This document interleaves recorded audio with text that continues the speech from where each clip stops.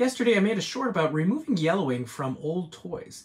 Specifically, I picked up some Ninja Turtles at the flea market the other day, and uh, it was a pretty good deal. I got a whole bunch of them, but there was a few that were very yellowed. Here's an example of one right here. So Leonardo as, I don't know, a detective, I guess.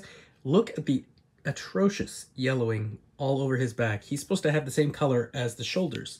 Not sure how that happened, but I think I figured out a way to get rid of it. I picked up this ultraviolet light from Amazon, I'd say within the past year, to use on computers for removing yellowing. And over here, I'm removing a lot of yellowing on Raphael. And to do that, I've been using this Vero K-Pak Color 40 with, it says 12%, so it's 12% peroxide. And I've been simply painting it on with this, just a little brush, uh, just to make sure that I'm not getting it all over the place.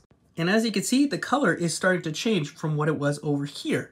What it should end up like, if I'm lucky, is like this. Here's hoping. Please leave a like and subscribe to the channel.